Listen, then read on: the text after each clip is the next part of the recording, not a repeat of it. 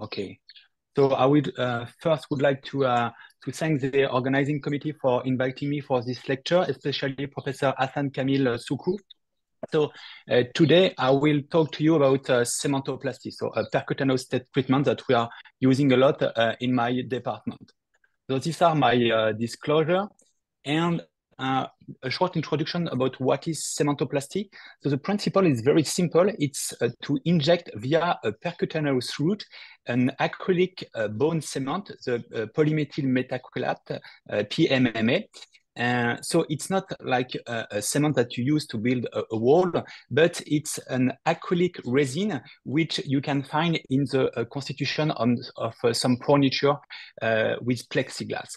So this, uh, this uh, cement has two components, a liquid component and a powder component. And when you mix the liquid component and the powder component, uh, you will uh, it will be uh, a, a, mixture which will polymerize uh, in a couple of minutes and from a liquid um, a polymer you will have a solid polymer which will reinforce the bone that you want to treat with this PMMA bone cement so it's a it's a kind of uh, uh, um, it's a what if we speak about the history of the uh, the, the, cementoplasty and the vertebroplasty.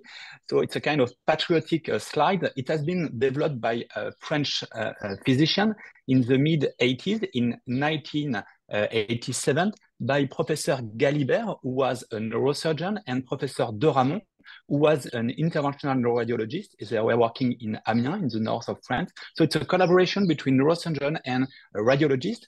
And it has been developed the first time for the treatment of an aggressive vertebral hemangioma. And afterward, the, uh, the, the indication of this technique expanded, we will see afterward for the treatment of bone metastasis or for osteoporosis.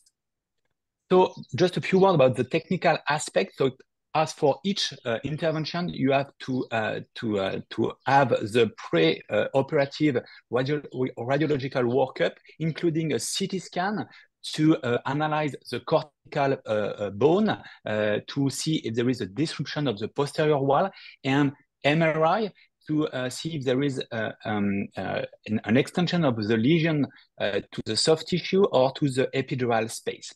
The interest of this technique is that it could be used with a short or, uh, hospital stay, less than 24 hours.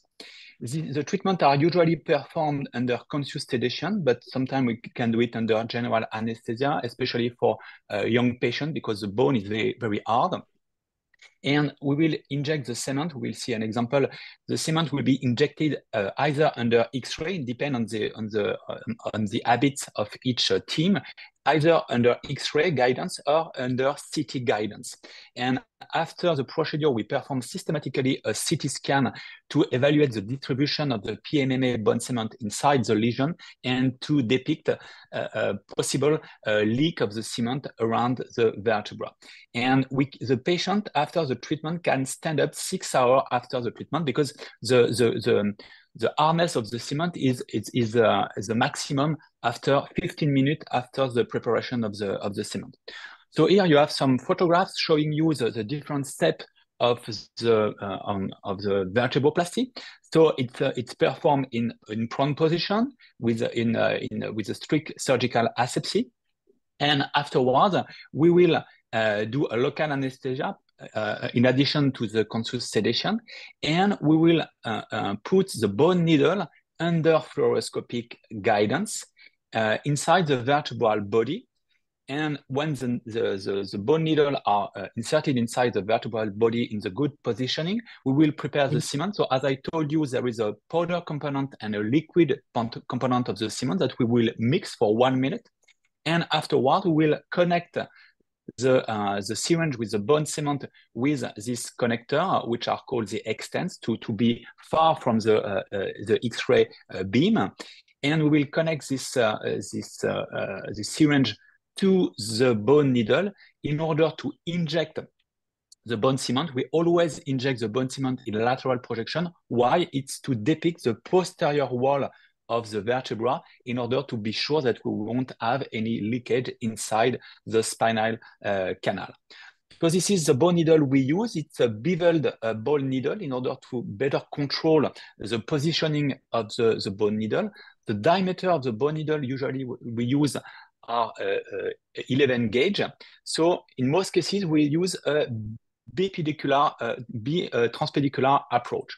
So this is the most easy, easiest, this is the easiest way to uh, position the, uh, the bone needle inside uh, the vertebral body because it's very simple. The, the landmark, the bone landmark are very simple to see on X-ray. So uh, it depends, this, uh, this number depends on the vertebral you will treat because the, the size of the vertebra is not the same for an upper uh, thoracic level and lower lumbar level, but usually it's six centimeter from the midline and the angulation is about 10 to 15 degrees. So this is the transpedicular approach. And when you use a transpedicular approach, you, we, we, we put two bone needles, one through each pedicle. So you see here the, the, the X-ray uh, um, uh, guidance for the transpedicular approach. So we enter in the pedicle uh, in AP projection, strict AP pro uh, projection, and we enter in the superior external quadrant of the uh, the pedicle, and we want not to uh, to uh, to enter in the spinal canal. So we you don't have to cross this uh, this inner cortical bone before entering the vertebral body. So what are the contraindications to this transpedicular approach? When you have some surgical material, when you have a posterior fixation, you cannot access through the uh, surgical material. When the pedicle uh, has a lytic lesion or when it's fractured, because the bone cement will uh, be pushed back around the, the bone needle and will enter inside the spinal canal. And also when the pedicle is too small, when it's smaller compared to the size of the bone needle, you won't be able to use this transpedicular approach. So this is an example of a mistake.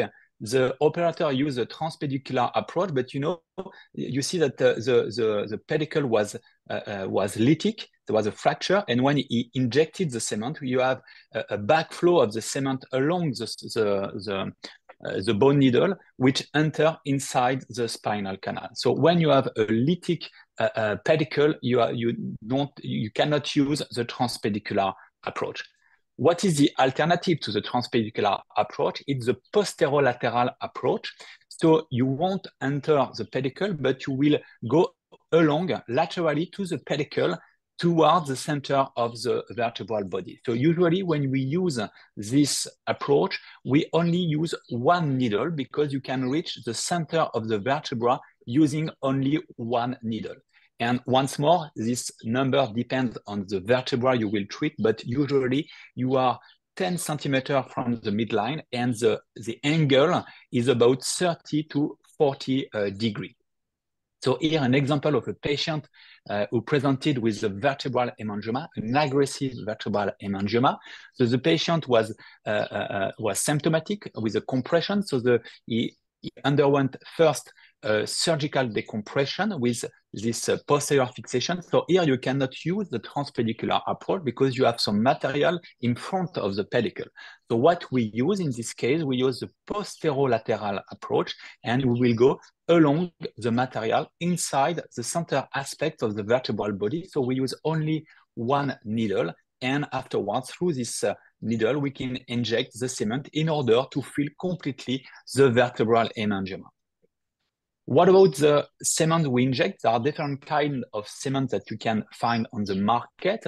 You have low viscosity cement or high viscosity cement. In, in the daily practice, we use a low viscosity uh, cement and the time window to inject, so between uh, the moment uh, in which the cement is too liquid and the moment the, the, the cement is too solid is about five minutes. And this time window the time in, during which you can inject the cement uh, will depend on the cement itself, low viscosity or high viscosity bone cement, but also the temperature of the uh, the room where you are you are doing the procedure. So if you have a low temperature, you have a longer time window, so you can inject for a longer time the bone cement, but you will increase the risk of cement uh, leakage. So what about the specific case of cervical vertebroplasty? So the, the, um, the route to access the vertebral body is not the same compared to uh, thoracic uh, vertebra or lumbar vertebra. So we use the, uh, uh, uh the uh, right anterolateral approach. So why the right side? Because the esophagus is located on the left side, it's paramedian compared to the, the, the, the cervical spine on the left side. So we want to avoid to have a transfixion of the esophagus. That's why we go from the right side. So you put your fingers uh, uh, as a hook in order to push laterally the uh, the the, the, the, the carotid artery to avoid uh, the, to have a transfixion of the carotid artery. So you, we will put the needle from this right anterolateral approach between your uh, your fingers, which are uh, as a hook uh, to, to, to push laterally the carotid artery, between the trachea and the carotid artery. So you will go in between these two uh, these two axes in order to reach the center as the central aspect of the vertebral body. So this is the positioning uh, we want to reach with the bone needle inside at the middle aspect of the vertebral body. Usually we do this uh, cervical vertebroplasty in biplane fluoroscopic guidance. It's to better depict the posterior leak inside the spinal canal and the lateral leak uh, towards the uh, uh, uh, close to the vertebral artery to be sure that we won't have any leak in the vertebral basilar system. So we, the patient usually is under general anesthesia because it's very uh, uncomfortable if you do it under conscious sedation. And we will uh, put the bone needle between the cervical uh, ICA internal carotid artery and the trachea, which is uh, medially. And you see, here, you see here the fluoroscopic guidance in AP and lateral projection at the same time to be sure that we will reach the center aspect of the, uh, the vertebral body. Then we will prepare the bone cement and afterward we will inject on both AP anterior, uh, posterior projection and lateral projection at the same time under fluoroscopic guidance we will inject the bone cement, which is in this syringe, connected to the bone needle, and we will follow the uh, filling of the vertebral body, of the cervical vertebral, vertebral body, in antero-posterior projection and in lateral projection. And afterward, we compress for two minutes to be sure that we won't have any hematoma because sometimes you can have a transfixion of some small branches of the external carotid artery. So sometimes one of the complications could be an hematoma at the cervical, uh, in the cervical area. So an example here, you have this osteolytic lesion of the C4 vertebra with a posterior wall disruption. So here you have the positioning in uh, antero-posterior projection of the bone needle. It's an 11 gauge bone needle from the right side right anterolateral approach towards the center aspect of the vertebral body. And afterward, we'll inject in AP and lateral projection fluoroscopic guidance, the bone cement, which will help to, uh, uh, to fill the bone lesion. You can see the filling of this osteolytic lesion. You have a little bit of leakage. This is very frequent at the entry point of the, uh, of the bone needle, but usually it has no clinical uh, consequence.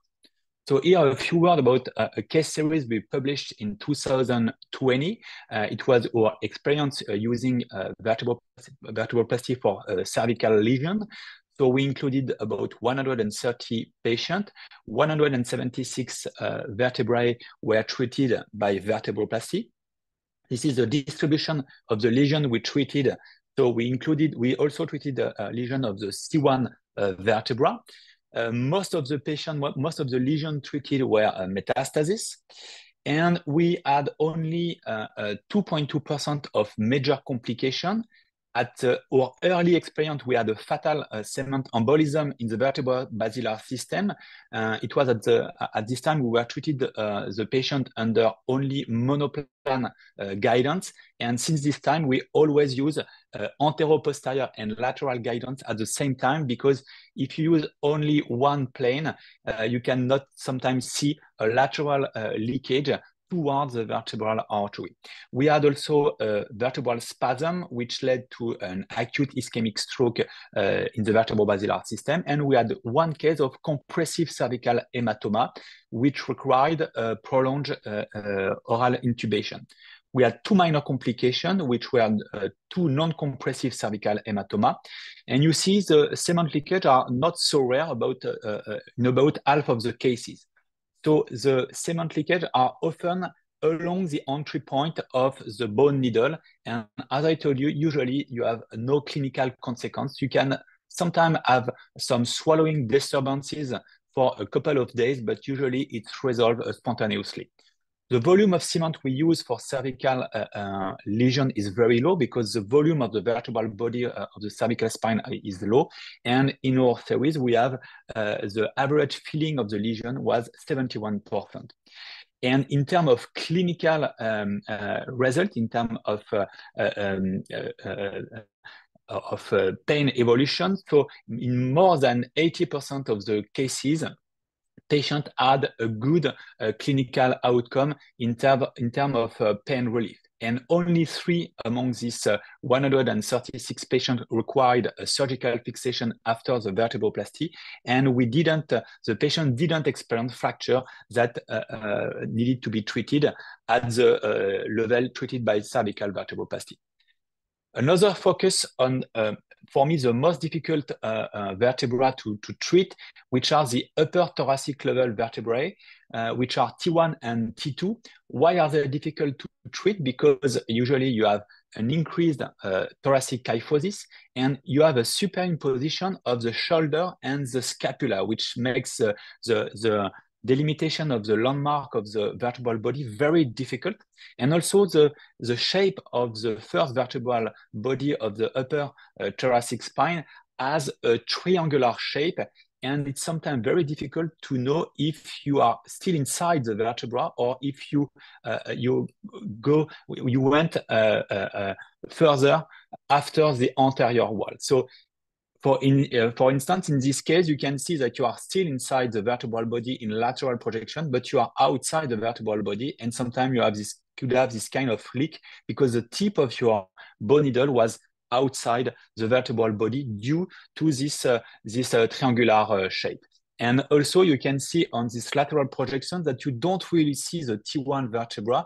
Uh, so it's one uh, of the difficulty when you are doing this uh, vertebroplasty because you have some superimposition with the, the shoulder. So we have a can uh, we have a, a, some tip and tricks to try to uh, overcome this limitation. So first, the positioning of the arms of the patient. So you can use the swimmer Uh, positioning like uh, uh, display in this photograph. You can also put the arm of the patient along uh, this body and uh, perform a caudal traction of the arm. So it will help to, to better see the T1 and T2 vertebrae. you can also tilt in craniocaudal fashion the lateral tube. What we use often is we add uh, with the, uh, the powder component and the liquid component, we had some tungsten powder to increase the radio opacity of the, the bone cement. And also we use the uh, Scopy Mode Plus. So here you have an example of regular fluoroscopy. You don't really see why it's T1. When you use the Scopy Plus uh, program, you better see the landmark of the T1 and especially the posterior wall of the vertebra. And it will help you when you inject the uh, bone cement to uh, depict uh, um, a, a, possible uh, leakage. So what are the indications of the percutaneous vertebroplasty? As I told you, it has been developed uh, initially for the treatment of uh, aggressive benign primitive bone tumors, but uh, this uh, uh, uh, indication expanded. So nowadays we are treating bone metastasis, lesion due to hemopathies. We also treat patients with spinal trauma and also patients with fracture due to osteoporosis. So what are the contraindications for the vertebroplasty? So general contraindications uh, are mainly patients who are contraindicated for uh, anesthesia, patients who are moribund, who have a lot of comorbidities and who cannot lie in prone position. So they are uh, contraindicated for vertebral uh, for vertebroplasty. patient with aplasia because there is a risk of uh, infection, uh, patient with coagulation disorder because when you are uh, uh, putting the bone needle in the spine, you have a risk of subcutaneous uh, hematoma. And you have also local contraindication, mostly infection, infectious disease. So if you have an, inf an infection of the, the soft tissue around the vertebra you want to treat, you have a risk to put some uh, uh, to put an infection inside the vertebral body while crossing the infected uh, um, soft tissue. And also, you should not do vertebroplasty when you have a spinal cord compression because you will, by injecting the cement in the, uh, the lesion, you will increase the spinal cord compression. So in patient with compression of the spinal cord or in a pre-compressive uh, uh, uh condition, you have first to ask the neurosurgeon to do uh, uh, uh, to to to uh, to, to do a surgery to, uh, to uh, uh, reduce the compression, posterior surgery, and afterwards you will do the vertebroplasty a couple of weeks after. So what are what about the vertebroplasty, the cementoplasty for tumor disease? So uh, there is a, a huge arsenal, uh, therapeutic arsenal of uh, percutaneous treatment. So we can perform bone percutaneous cementoplasty for vertebra, but also for other locations, pelvic bone, for instance. But we can also perform percutaneous destruction either with heat, with radiofrequency ablation, or with cold, with uh, cryotherapy. And also in some patients which, uh, who are not eligible for surgery, for regular percutaneous treatment, we can do embolization or chemoembolization. So we inject some chemotherapy in the arteries feeding the lesion in order to reduce the size of the lesion and to obtain pain relief. So the objectives of the uh, cementoplasty and vertebroplasty for uh, spine metastasis is first to obtain an analgesic effect, so pain relief. Second, to consolidate the bone lesion.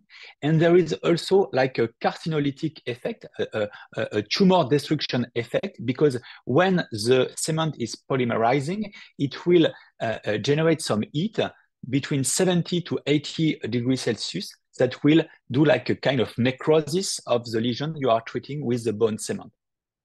What are the indications of uh, vertebroplasty for spine metastasis? So we are treating painful and or unstable metastasis. So you, we have to see the patient in consultation to know which uh, metastasis is painful and to treat the good one.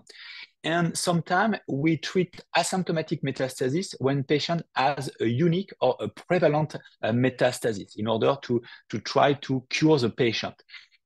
Which uh, uh, vertebra we can treat by vertebroplasty? We can treat all uh, the, the, the, vertebra uh, with vertebroplasty from C1. We can uh, also treat C0, the, uh, the uh, occipital condyles, from C1 to S4, to the, the, the, last vertebra of the, of the sacrum. One question, is the posterior wall disruption a contraindication to vertebroplasty? No, it's not a contraindication. You see, it, here this is a patient with this uh, uh, uh this osteolytic lesion of the posterior aspect of the vertebral body. So there is a posterior wall disruption, which can you can see here.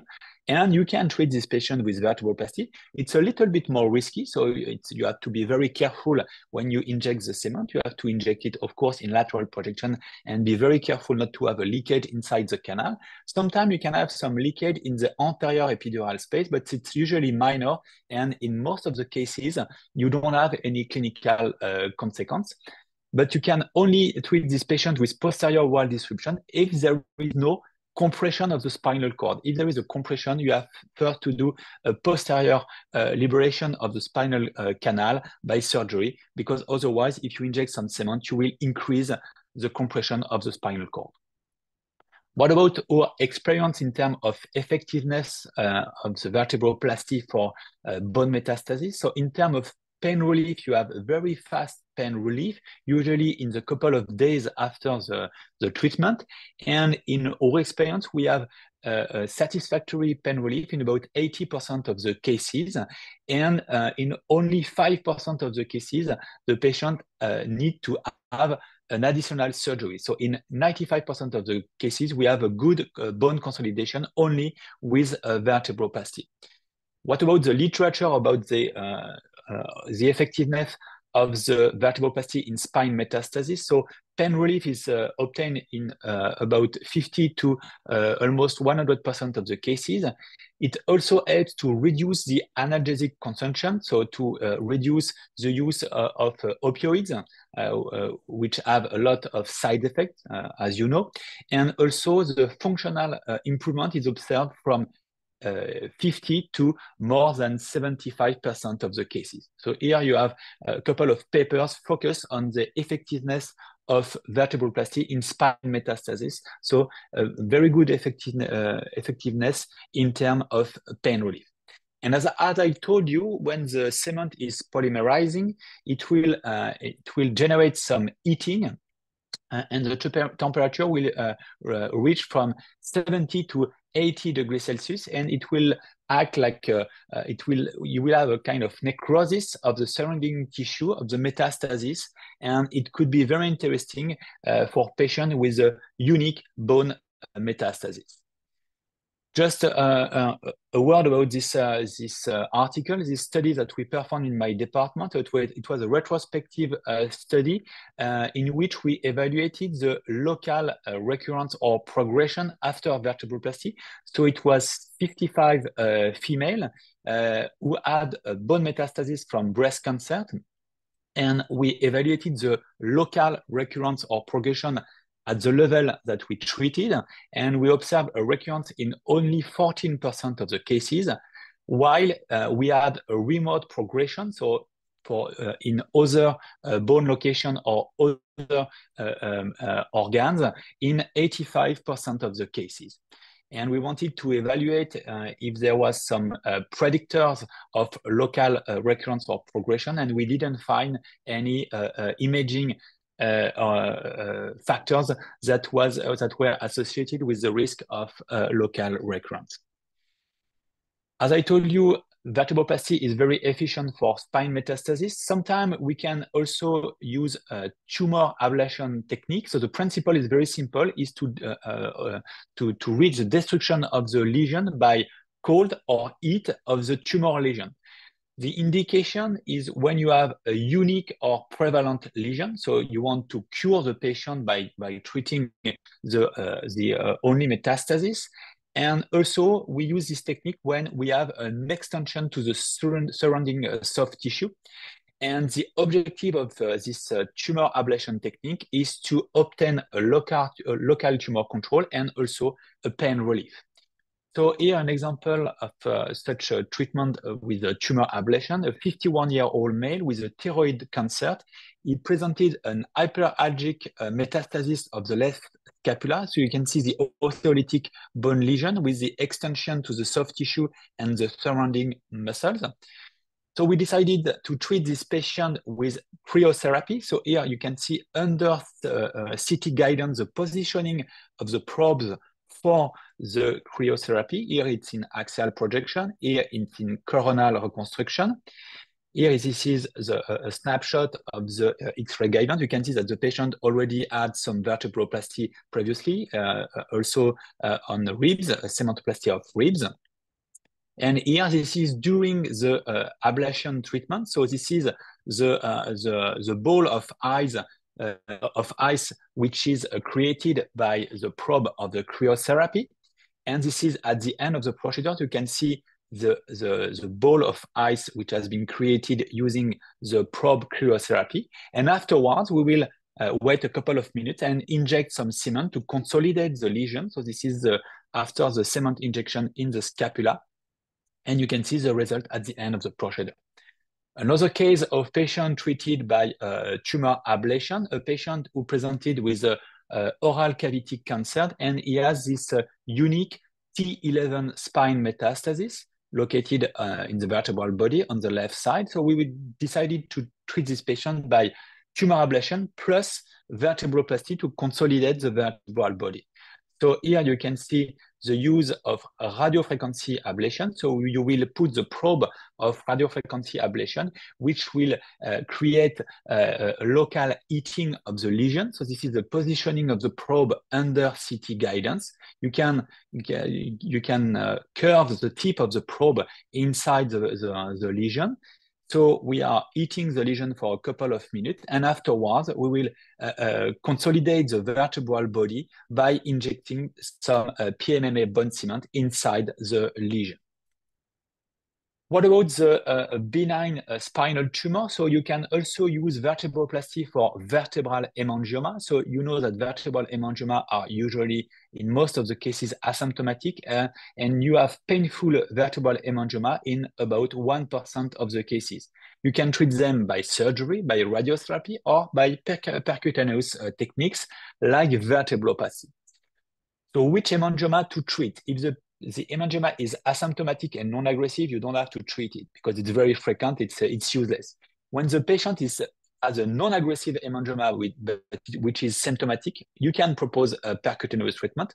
When the patient is asymptomatic with an aggressive hemangioma, you can treat it before it becomes uh, uh, uh, symptomatic. And when it's symptomatic and aggressive, we have to, to, to propose a treatment. So this is a three main uh, configuration in which we can propose uh, vertebroplasty for uh, spinal hemangioma.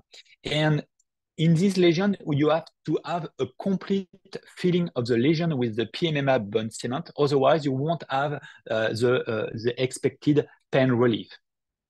Here, an example of a C4 lesion uh, hemangioma uh, of the spine of the cervical spine. So you can see the lesion which is here. The patient had a huge cervical uh, pain.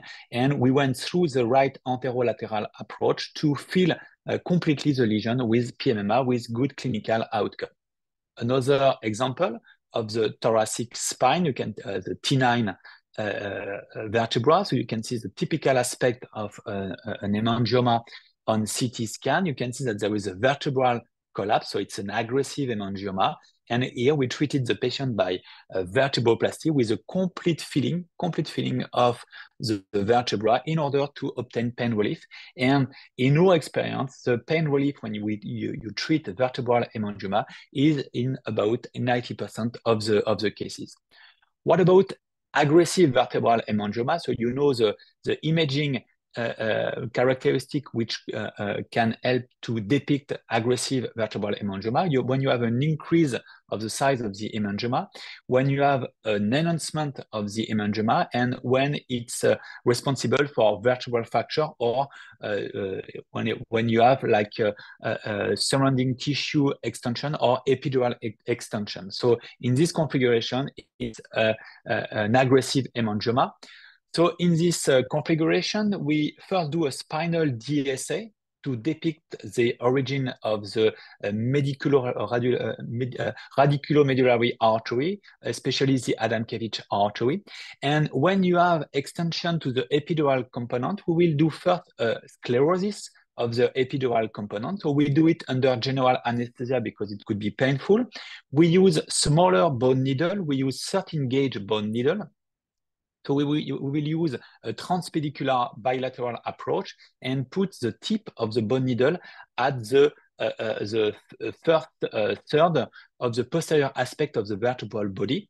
Then we do a venography, so we inject some contrast material through the bone needle to see uh, the, the, the, distribution of the contrast material in the vertebral body and in the epidural space, and to depict a potential uh, anastomosis with, uh, uh with arteries, surrounding arteries. And afterward, we will inject the uh, pure alcohol diluted with contrast material. We will inject about three milliliter in each side, to, so to obtain a sclerosis of the epidural component.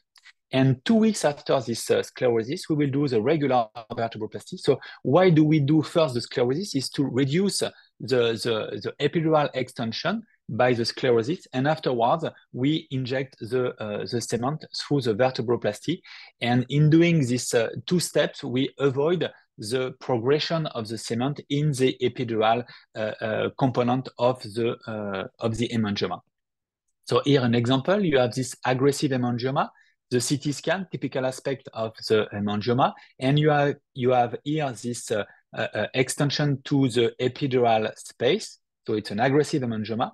We are performing first the sclerosis. So you can see the bone needle, which are at the posterior aspect of the vertebral body. We are doing the venography to see where the contrast material is going and where the alcohol will go. So it will go in this posterior aspect in the epidural component. And we do the sclerotherapy. And two weeks after, we will do the vertebroplasty. And you see you don't have any leakage in the epidural uh, space using this uh, two steps uh, technique.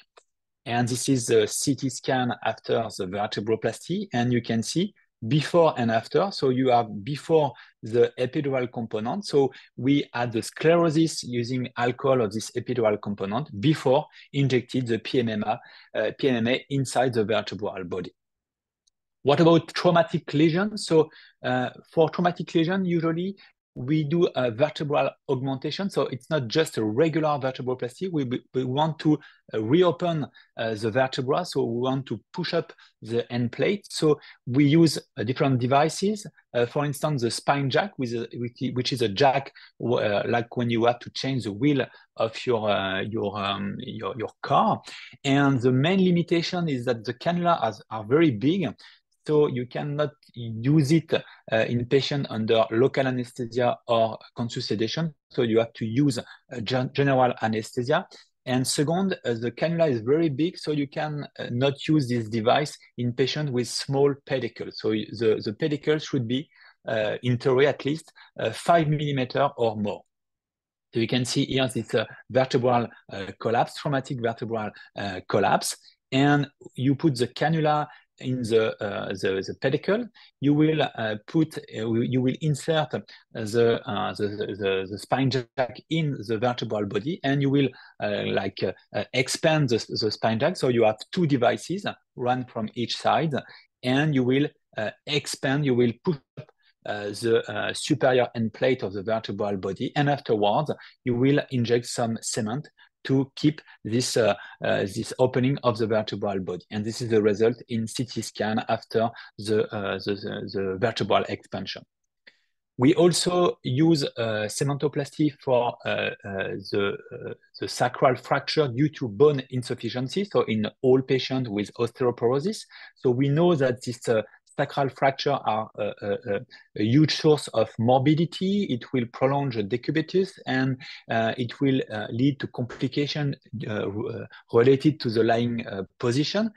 So here an example of a patient who has this uh, H-shaped fracture of the, the sacrum. And it's very simple to treat this patient using a, a cementoplasty.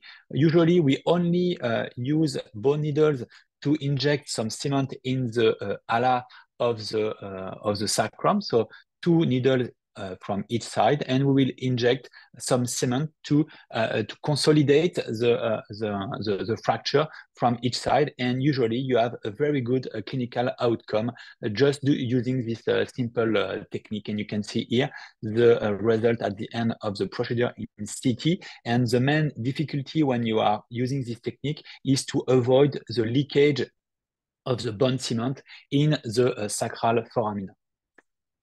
So uh, uh, cementoplasty are intervention. So when you are doing intervention, you have always a risk of complication. What are these complications? So cement leaks, it could be related to the positioning of the, the bone needle. So when the tip of your bone needle is inside um, a vertebral vein you will have some leakage in this vertebral vein. When you inject a too liquid uh, bone cement, so it will increase the risk of cement leaks. And we, when you are injecting the, pressure, the, the cement with hyper pressure, you will increase the risk of, uh, uh, of leakage. So the different leaks that we can see are uh, intradiscal uh, leaks, you can also have some soft tissue uh, leaks, venous leaks, and the most fear of all, but very, very, very rare, the intracanal uh, leaks. So the uh, cement leaks are observed in up to 75% of the cases, but what you have to, to keep in mind is that uh, all these cement leaks are in uh, almost all the cases are in, in most of the cases asymptomatic. So the risk of uh, uh, perivertebral leaks is increased when you are treating sclerotic uh, lesion or mixed lesion because you will inject with high pressure and you will increase the risk of uh, cement leakage. Intradiscal leak, leaks are not so rare, about 5% of the cases. And it's uh, frequent when you have a fracture of the end plate because you have a weak point and the cement will go in this weak point and you cannot avoid the leakage in the, uh, the, the intervertebral disc. And this leakage in the intervertebral disc may increase the risk of fracture of the adjacent vertebra. So sometimes when we have leakage in the intervertebral disc, we are treating the, uh, the, the we, uh, we do a preventive cementoplasty of the vertebral body below or uh, uh just above to avoid secondary uh, fracture.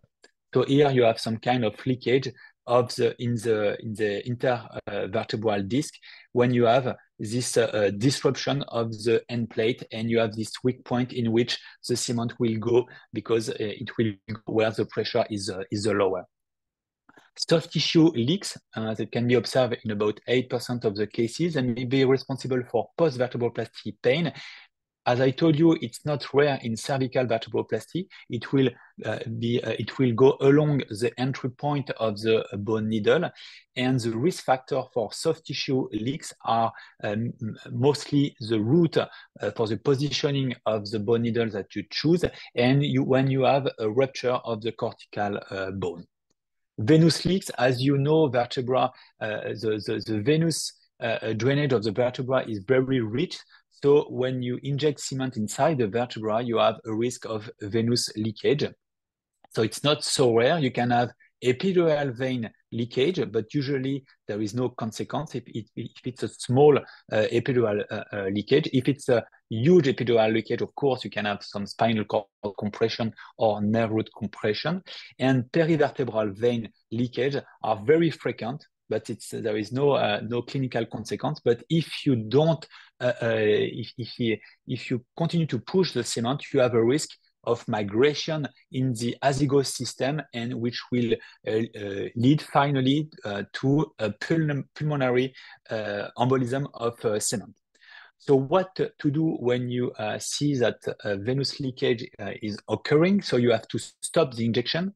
Sometimes you can to can try to aspirate, and also you have to change the positioning of the needle because here, if you have this venous leakage and if you continue to inject the, uh, the same way, you will have a migration of the bone cement inside the azygos and hemiazygos uh, system, which is connected to the superior vena cava uh, which itself is connected to the right uh, uh, the, auricles, and you will have afterwards migration of the bone cement in the, the pulmonary arteries, and it will lead to a pulmonary cement embolism. What are the complications that we can face while doing vertebroplasty? You can have some minor complication, hematoma along the course of the, uh, the bone needle. You can have transient radicular pain due to compression of the nerve of the nerve root uh, by the bone cement. You can have some asymptomatic pulmonary cement embolism.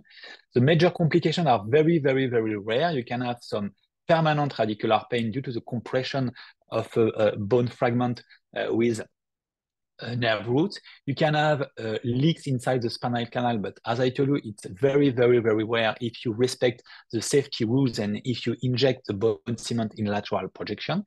Symptomatic pulmonary cement embolism are very, very, very rare. You can have also when you have intravertebral uh, uh, um, uh, uh shunt, uh, arteriovenous shunt, you can have arterial cement embolism. And of course, uh, you can have complication related to the, uh, the anesthesia. So as I told you, cement pulmonary uh, uh, uh embolism can be depicted on CT scan. They can be observed in up to 9% of the cases, but as I told you, it's in most cases completely asymptomatic. Uh, spinal cord compression or leaks inside the spinal canal, in our experience, uh, we, we, we did uh, more than uh, 10,000 vertebroplasty. It's, it's very, very, very rare. And we had only two cases.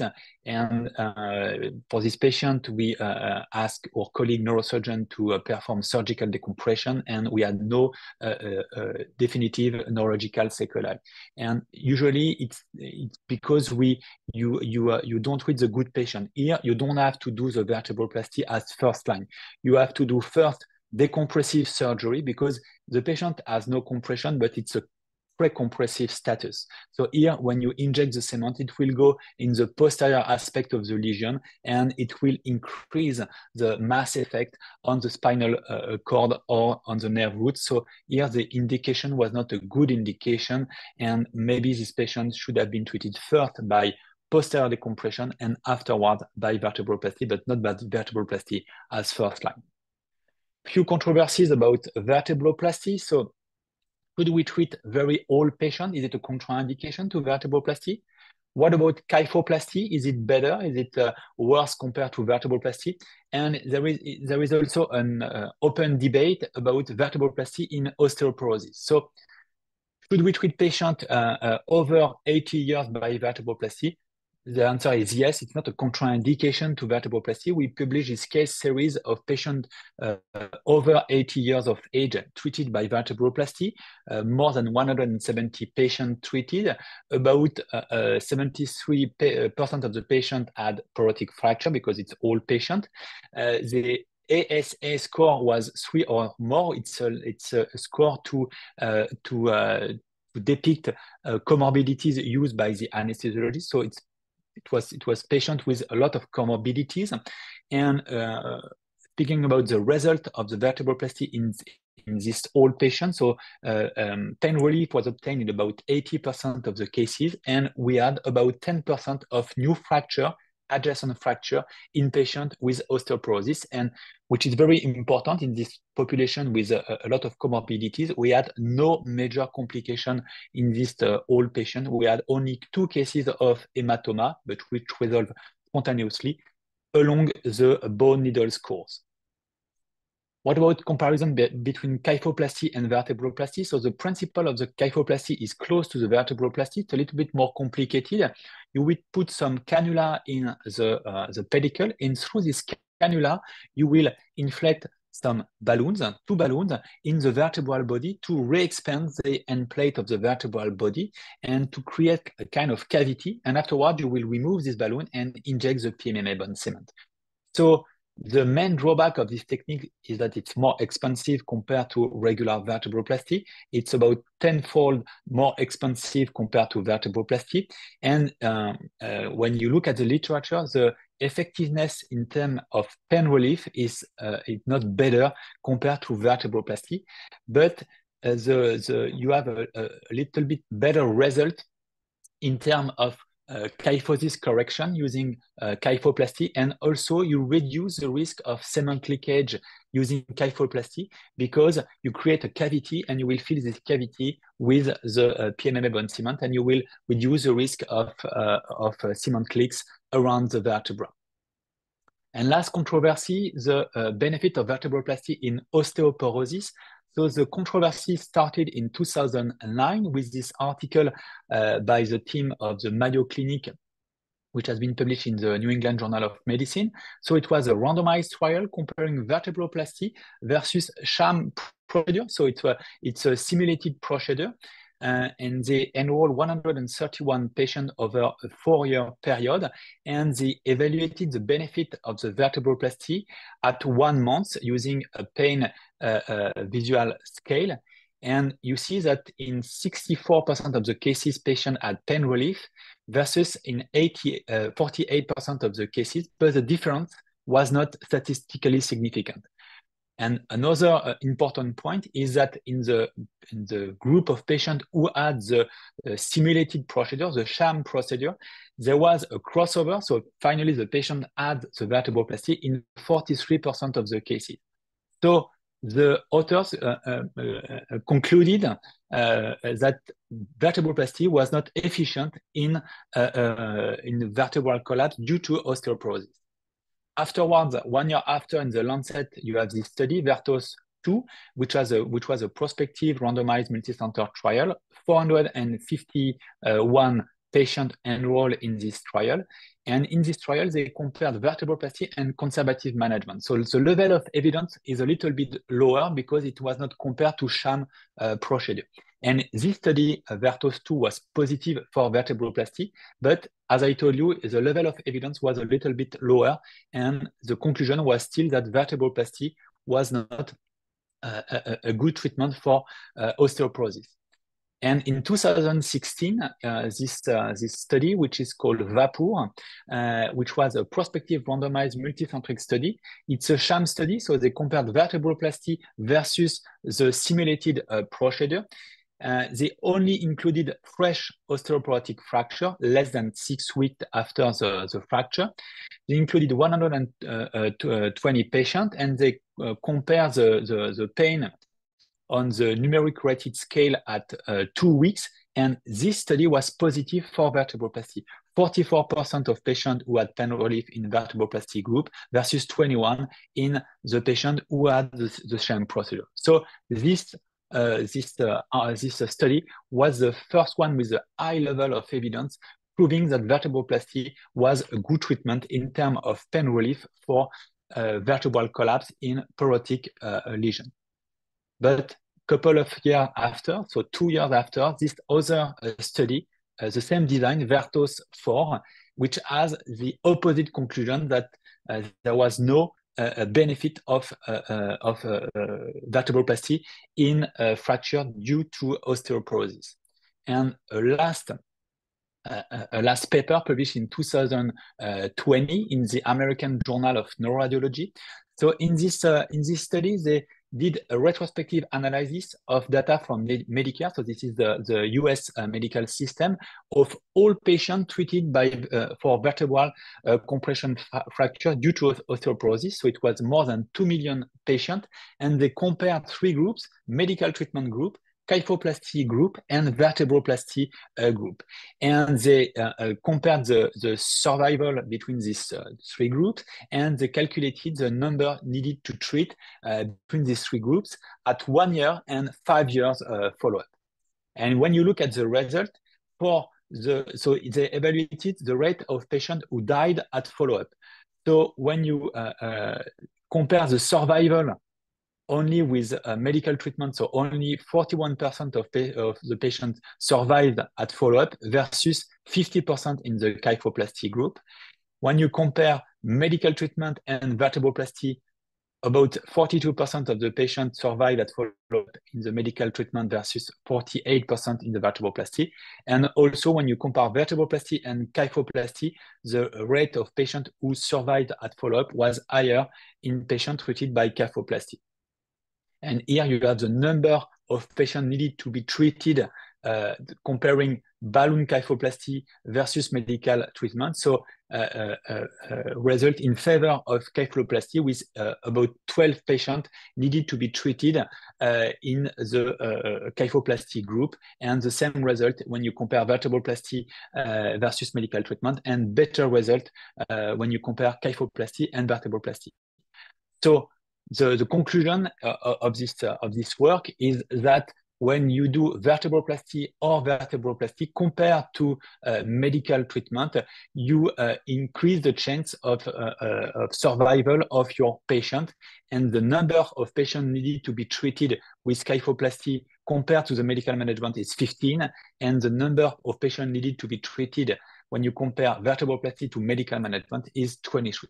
Of course, there are some limitations because it was a retrospective study and an observational study. So it's uh, like uh, an ongoing debate about the benefit of vertebroplasty in osteoporosis. It's, it's kind of never-ending uh, story. Few words about the challenging cases. I told you that you can treat all the, the, the, the, the bones uh, in the body with cementoplasty. So you can treat very uh, challenging uh, lesion of the of the sacrum, for instance. So it was a 56-year-old female with low back pain with a visual analog scale uh, at uh, 8 uh, over 10. CT and MRI showed a S2 hemangioma, which was biopsy proven. So you can see here on the CT scan the lesion, which is close to the posterior aspect of the, uh, the, the S2 uh, uh, bone.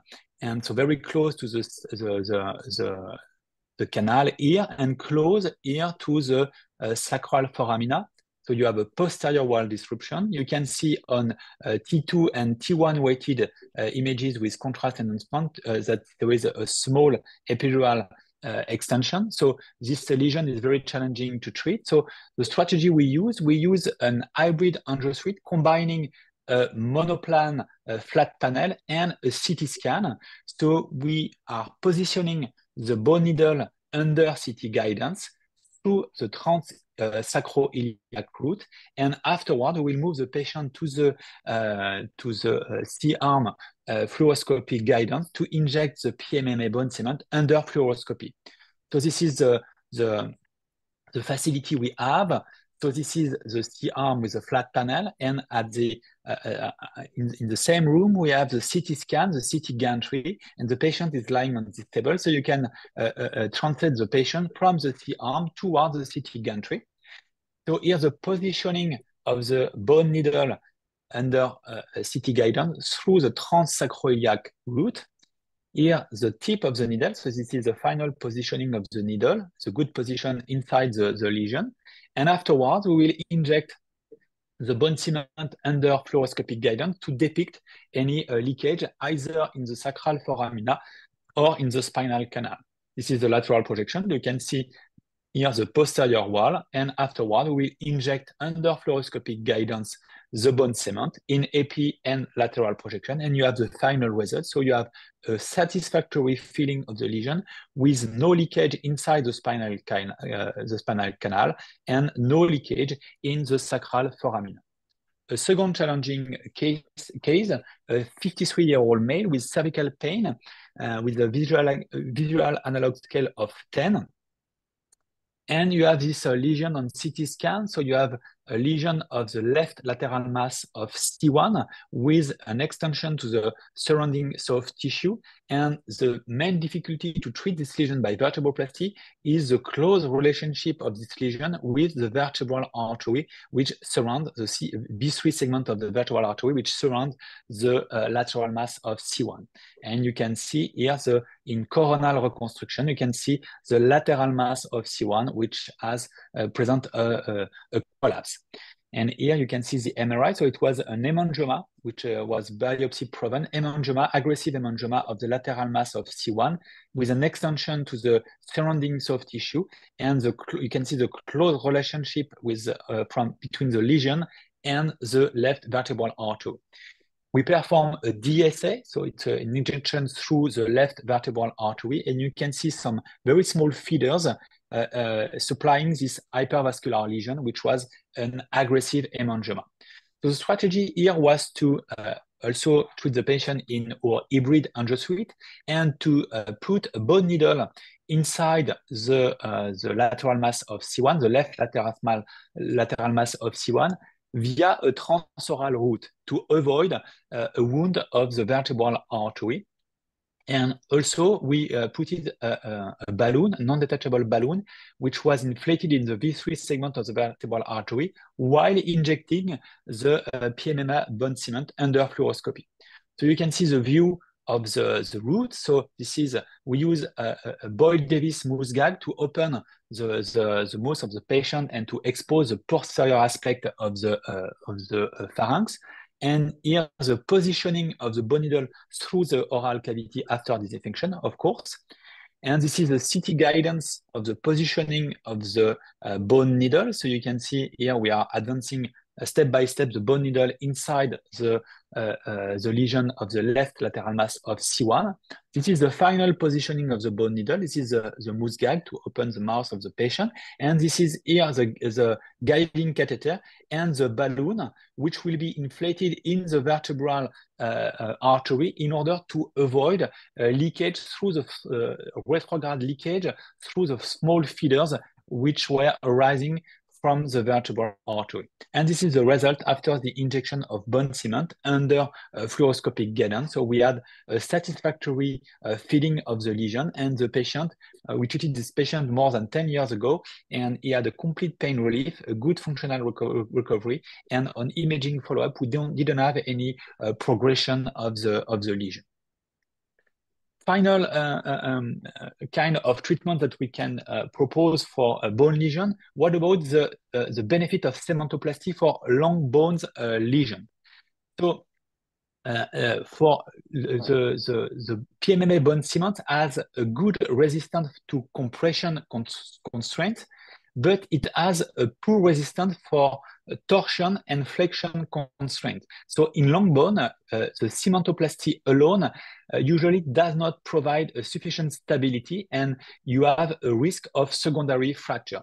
So here an example not of long bone lesion but of C2 lesion because C2 has some uh, flexion constraint due to the joint, the C1-C2 uh, joint. So here it was an osteolytic lesion of the body and of the dens of C2 uh, due to a metastasis. You can see here on MRI this metastasis. And we treated this patient uh, by the anterolateral approach that I showed you and to inject some cement inside the osteolytic lesion. This is the result at the end of the procedure, which is very good, a good feeling of the lesion. But as I told you, you have some flexion constraint on this, uh, on this vertebra that you don't have on other vertebrae.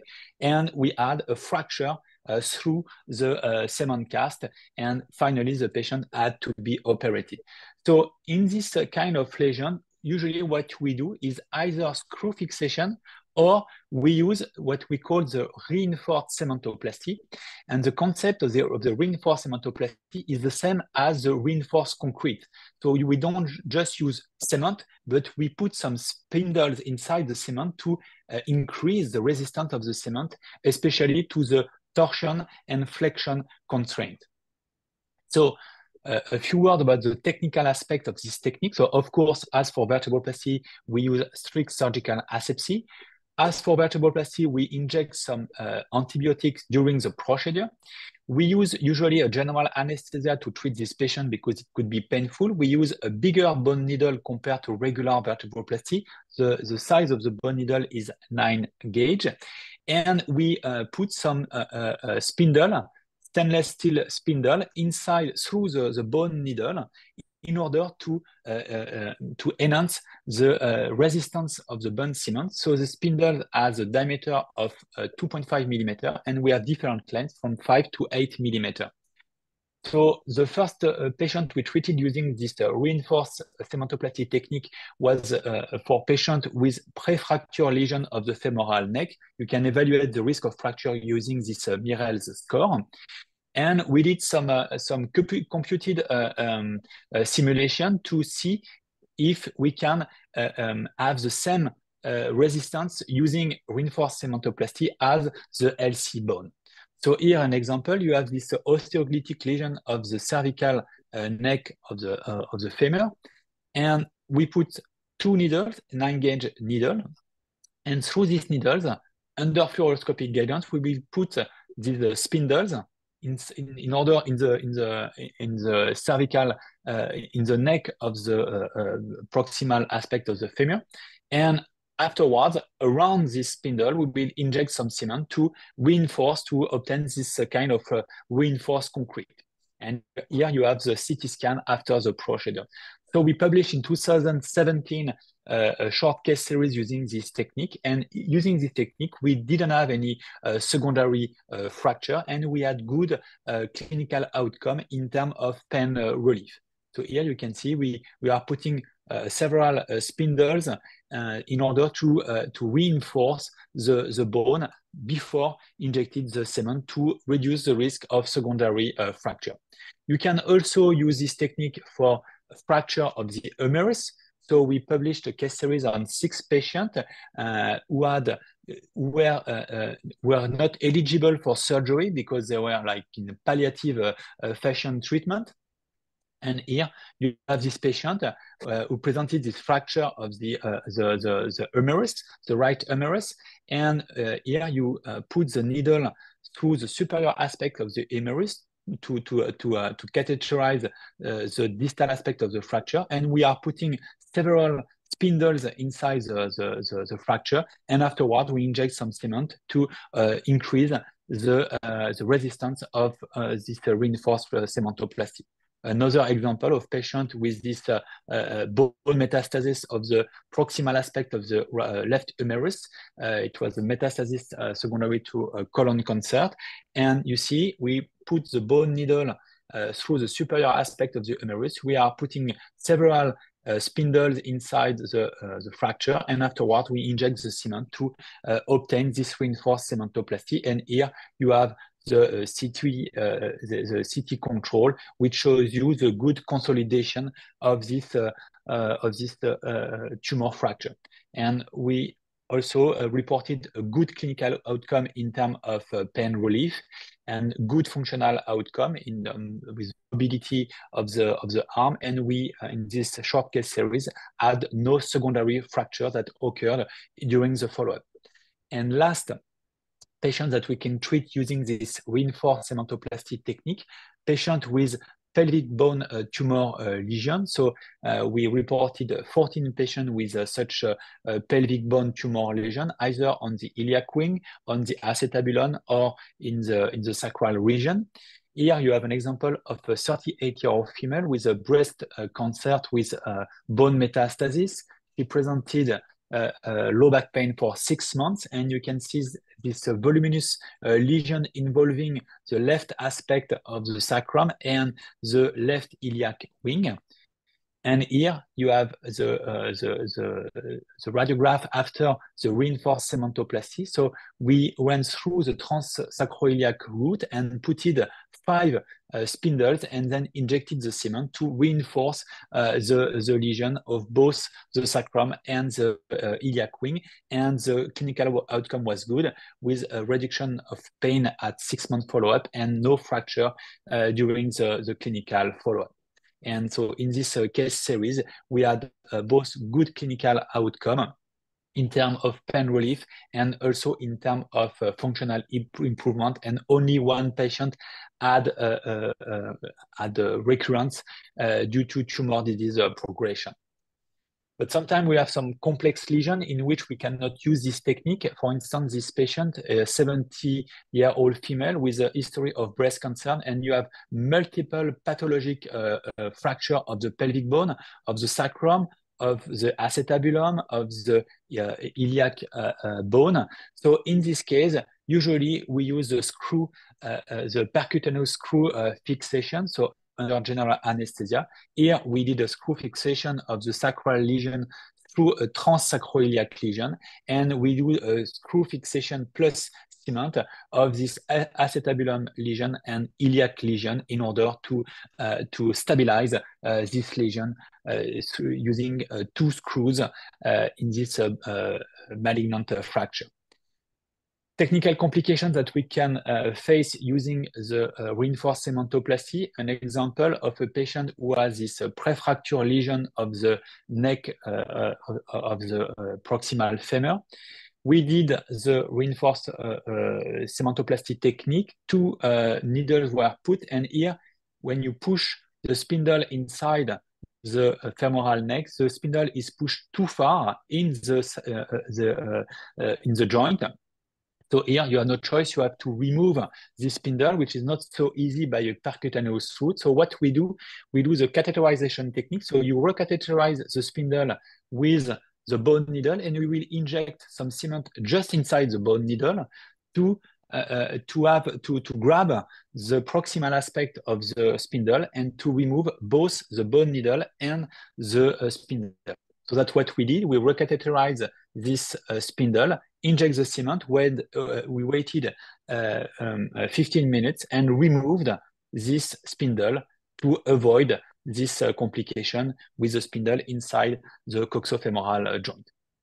So in conclusion, cementoplasty and vertebroplasty are safe and effective techniques. The risk of complication is very, very, very, very low. Um, it, uh, the, the pain relief usually is obtained very quickly and it's long lasting. We also have a, a, good bone consolidation using this technique, and there is a probable uh, carcinolytic effect, destruction, tumor destruction effect just due to the heating of the bone cement. The posterior wall disruption is not a contraindication uh, except if there is a, a, symptomatic compression of the spinal cord or of the, the nerve roots. Uh, for pelvic bone lesion, usually we use reinforced cementoplasty or screw fixation. And for long bones, uh, cementoplasty alone usually is not efficient to uh, prevent fracture. And in these cases, we use a cementoplasty. And just before concluding, you know that there will be a big event in Paris in 2024, which will be the Olympic Games. But we, there will be an even bigger uh, uh, event, which will be the masterclass of uh, neurovascular anatomy that we are organizing with my team in Paris, the 19th and 20th of April. And you will see a lot of uh, very fancy images uh, on anatomy especially on embryology. So if you want to uh, to uh, to attend this meeting, you are more than welcome. And I give you the, the QR code uh, that you can scan for the registration to this uh, uh, to this meeting, which will be held the 19th and 20th of April uh, of this year. And I will I would like to thank you for your kind attention. If you have any question. Thank you, Professor, for this outstanding lecture and outstanding speak. Uh, I have heard a lot of times someone to speak about vertebroplasty, but this time was one of the best uh, speakers. I think you are one of the best speakers I have seen in vertebroplasty. Thank you. So I have, before much. starting to ask the questions of our participants, I have a few questions of myself that I want to ask you. So lately, uh, I'm doing MRI before doing vertebroplasty to my patients in order to find uh, symptomatic fractures I'm looking for STIR sequences uh, for yeah. hyperintensity. Are you using MRI before uh, doing vertebroplasty uh, in order to uh, find symptomatic fractures and not doing vertebroplasty on the asymptomatic fractures? What do you think about that? always do both MRI and CT because if you if you have a patient with probable osteoporotic fracture, uh, sometimes you have old fracture sometimes you have both old and recent fracture, so you have to treat only the recent fracture, not the, the old one. And sometimes on CT, you cannot see a recent fracture because there is no collapse of the vertebral body. There is, you just have the edema of the, of the spongious bone, and you will only see it on, on MRI, on, uh, on uh, a STIR MRI. So I recommend to do uh, for this patient always a MRI before doing the vertebroplasty. Otherwise, you may treat the wrong uh, level and the patient won't experience a, a clinical improvement. Oh, thank you. Sorry, uh, I want to... Sorry, Edwin. Can you please uh, stop your screen sharing so we can see each other yeah. bigger? Uh, thank you. So I have a few more questions. What is your uh, personally favorite technique? Are you doing unilateral or bilateral? And uh, are you using local anesthesia or you are doing uh, using general anesthesia? So for the approach, the, the, the transpedicular, bilateral transpedicular approach is very easy. The problem is when you are treating, I don't know, four or five level at the same time, you will, you will have bone needle everywhere. So it's very complicated. So yes. in this in this kind of patient, usually for vertebral for osteoporotic uh, fracture, I use posterolateral Uh, approach and only one needle per uh, per level. And uh, so it, in, in this kind of uh, lesion, uh, I use only poster one needle for with the posterolateral approach. And concerning the, the, the modality of the anesthesia, honestly, the patient treated under local anesthesia has have a bad experience because it, it could be painful when you even even if you do a good local anesthesia of the periosteum sometimes it could be very painful because they have a fracture. So when you put a needle in a fracture it's very painful of course. So we prefer to use the conscious sedation. And as I told you, when you use bigger material for a spine jack or in young patients who, who have a, a very uh, dense bone, we use general anesthesia because sometimes when you have to put the bone needle in the in the vertebral body in a young patient, you have to use uh, the the the. It, it, could be very very difficult. You have to use a hammer, and it could be very very uh, and very Im uh, impressive for the patient. So that's why okay. we use general anesthesia. But local anesthesia, it's almost never. Thank you. I have uh, I have one more question. Uh, what do you think about using antibiotic impregnated cement for using? Because lately I have seen a patient who developed spondylodiscite after using vertebroplasty. I don't know if you have seen such kind of complication, but what do you, what do you think about using antibiotic impregnated cement? I don't have the experience of such uh, cement, but it, why not? It could be a good idea. But the the what we do in my institution, we inject uh, IV uh, cefazolin, the same protocol as for orthopedists during the procedure, and the, the rate of uh, infectious complication is super low. Uh, it's only in patients, uh, you know, who have uh, uh an aplasia, who are who are treated uh, with uh, with chemotherapy, but it's super rare. It's less than one per one thousand patients. It's very very rare. So if you do it with a in good condition with a surgical asepsy, the risk of of um, of infectious complication is super low, super low. Okay, thank you. And what kind of viscosity are you using? High viscosity or low viscosity? When do you inject the cement? Are you waiting it to be like toothpaste? What, so what we usually we, we use like the regular bone cement, PMMA bone cement. So it's a low viscosity, but I think you have to know how your cement behaves. So it's you can use whatever you want, but uh, what cement you, you, you prefer, but uh, uh, you have to know how it behaves. So usually what we do, we, we use a low viscosity bone cement and we start to inject the bone cement at, at three, four minutes. And at 12 minutes, you cannot inject anymore the bone cement. But the uh, the interest of the high viscosity bone cement is the, the, the, the, the window, the time window to inject the cement is, is longer. So if you are treating a lot of uh, level at the same time, maybe it could be uh, better to use a high viscosity uh, cement. Okay, thank you. I have no more questions. I'm going to ask the questions of our participants now. So, okay, there is a comment from Yunus uh, I, Yunus Aydın. Uh, thank you very much for this uh, didactic presentation. And he, he has a question. Do you do open cement applications in patients who have spinal stenosis accompanied by fractures? He says, I apply, I apply some cases who are candidates for near future decompressive surgery. So you mean, mean a, a mini invasive uh, uh, treatment for a patient who have a reduction of the spinal canal due to uh, osteo uh, due to uh, degenerative disease, right?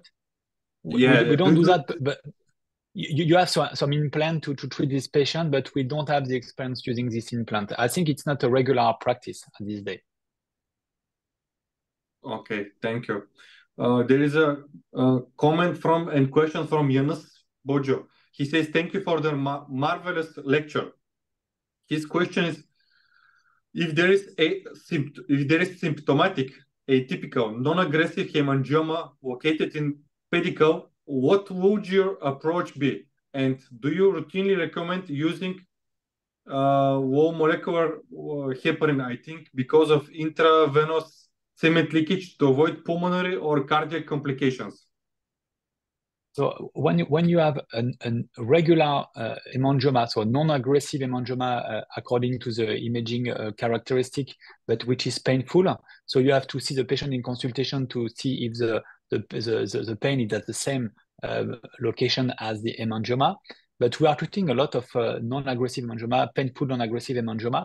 And when you have an extension to the pedicle, we are doing the pediculoplasty at the same time. So you inject in the vertebral body in the, the hemangioma itself. And when you are pulling a little bit the, the bone needle, you inject the cement inside the pedicle. So it's not very difficult.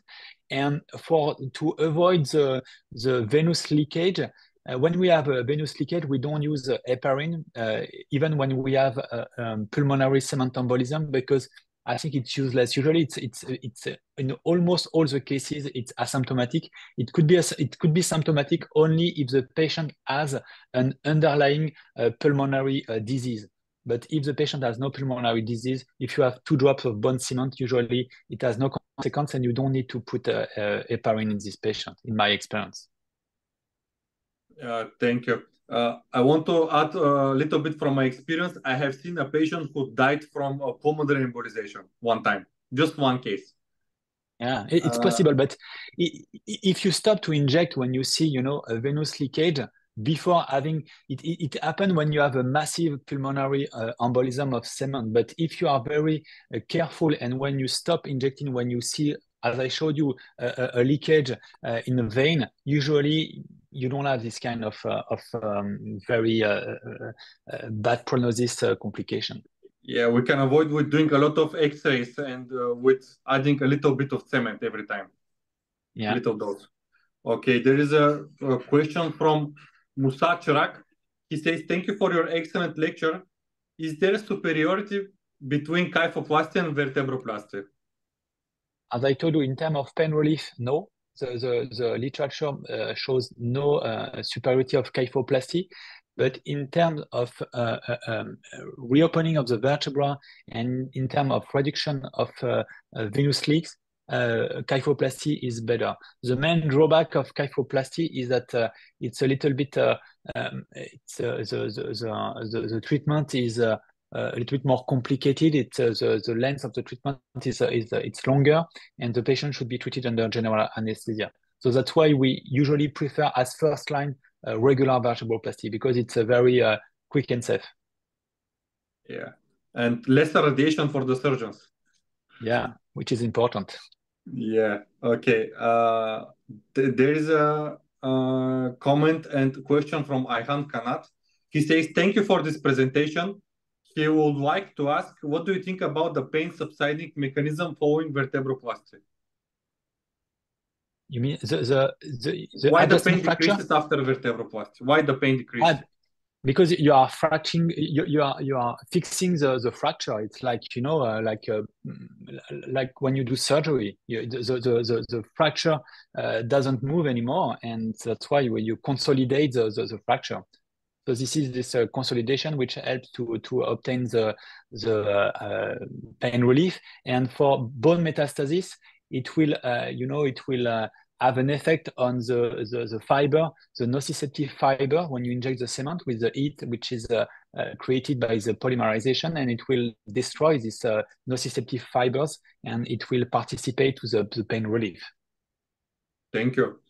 And uh, uh, there is a comment from uh, Dr. Nurullah Kösmene, who is a neurosurgical resident in Izmir, Turkey he says, thank you for pro, uh, professor. It was a great, very informative lecture. Okay. Thank you. And there is a, another question from Ayhan Kanat. What do you think about unilateral, unilateral vertebroplasty? Unilateral. As I told you, it, it, you can use only one bone needle through the posterolateral approach, but sometimes it's not so easy to reach the center aspect of the of the vertebral body when you treat a patient with osteoporosis, it's very easy to, to change the direction of the bone needle because the, the, the bone is very soft. So using this posterolateral approach, it's easy to, to reach the center aspect of the vertebral body. In younger patients with a LC bone, uh, it's much more difficult. So when you use only one needle, sometimes you are just lateral in the vertebral body and you will feel only half of the vertebral body, which is not what the goal of the treatment. Thank you. Uh, well, there is from Musa Chirac, Turkey. What is the amount of cement for thoracic, lumbar, or cervical vertebra? As I told you, for cervical vertebra, it's uh, between two and three milliliter. For uh, um, I would say L5 or L4, sometimes it's 10 millimeters uh, milliliter. So it depends, but um, you have to keep in mind that, you you don't need to full to to to fill all the vertebra uh, when you treat a patient with osteoporosis because you will increase the, the constraint of the other vertebra and it will uh, promote the, the uh, adjacent fracture. So when we treat osteoporosis uh, uh, uh, lesion, we don't try to fill all the, the vertebra. We try to fill, I would say, half or two thirds of the vertebra. And the same for uh, for tumor lesion. it has been shown that the the pain relief is not proportional to the filling of the lesion. So we try to fill the lesion, but uh, uh, by avoiding uh, cement leakage. But you don't have to to be too aggressive because you you won't increase the chance of of having a pain relief. It's only for hemangioma. For hemangioma, you have to fill all the lesion. Otherwise, the, it's it's uh, it's it's useless. Thank you. And there is another question from Dr. Selim Bozda. She's a neurosurgeon from Turkey and she says, thank you for this detailed presentation. Do you perform vertebroplasty or kyphoplasty in AO spine type 3 thoracolumbar fractures with a compressed canal? In many of the cases I have applied, I have seen that the retropulsed fragment is reduced over time. I think it is indirect decompression method if the ligament is intact. What is your opinion? Very good question. We, we have the same impression when you have uh, the posterior uh, uh, wall is pushed inside the canal, but there is no uh, uh, uh, symptomatic compression. So you, you, can usually we use the, the spine jack technique, and it will reintegrate the, the, the, the protrusion by reopening the vertebra. So usually it's very efficient and uh, in terms of pain relief and in terms of uh, uh, of reduction of this uh, uh, uh, Uh, uh, uh, this this migration of the posterior aspect of the of the posterior wall. So it, it it's a good it's a good um, it's a good strategy. But we use in these cases we use the spine jack. Okay, thank you, sir. I don't have I don't see any more questions. So, okay, I'm going to give the word to the Professor Hasan Kamil Sucu. I want to thank you again, Professor. It was very thank you, good. Thank you. Uh, wait, there is a, uh, a last question. Comment. John Kosai, yes. Thank you for your presentation. Use of cementoplasty augmented with K wires for common femoris fractures is very interesting and promising method. What are your indications for this method? In which patients do you use this method? this question. The method with a with a spindle, the, the reinforced cementoplasty? Yes, for uh, femoris, col col colifemoris fractures. Colifemoris. Yeah, yeah, yeah. We we we, uh, we use this technique for long bones because, uh, as I told you, if you do just regular cementoplasty for femoral neck or for uh, uh, humerus or femur, it will be useless because you, you will have the fractures through the bone cement because there is no resistance of the bone cement to uh, flexion and torsion constraints. Uh, his question is, what are the indications for this method? Indications. Uh, usually it's a, it's a patient who are contraindicated uh, to surgery because it's it's not as good as surgery because uh, you know it's uh, only spindle with cement. So it's for a patient who has a, a, painful lesion and who are contraindicated for surgery because of their uh, general condition or because they are in a palliative uh, scheme of treatment. So we use this treatment this reinforced cementoplasty for this kind of patients. Thank you Thank you very much, sir. Okay. Uh, I want to thank you again. I'm going to give now the word to thank Professor you. Hasan Kamil Sucu. Uh, I want to thank again, like you. Uh, what do you think about uh, injection of alcohol without vertebroplasty for the um, uh, aggressive vertebral hemangiomas? Do you perform any alcohol injection without any cement um, it, it's an option, but the problem it uh, it will uh, it it won't reinforce the vertebral body, so you have a risk of secondary vertebral collapse. So we use the the alcohol uh, uh, uh injections, the sclerosis with alcohol, only to treat the uh, epidural component, and the the cement is is the the goal of the using the cement is to to reinforce the vertebral body to avoid a secondary fracture. If you use only alcohol, you, you don't uh, don't prevent this secondary fracture. Uh, uh, Edwin, uh, I want to share uh, my screen for uh, to, to, present of a course. case.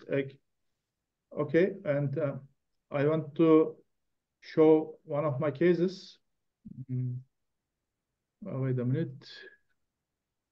Which one? Which one? Which one? This is okay. Spinal tumors. Okay. Do you see the? Yes. Yes. Okay.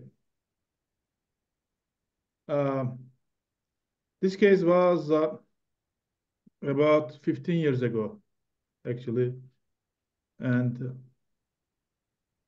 uh, at that time, she was a young lady and with uh, paraparesis and uh, in the uh, T4 vertebra, there was a aggressive hemangioma, uh, as you can see in T1 weighted uh, sagittal MR images.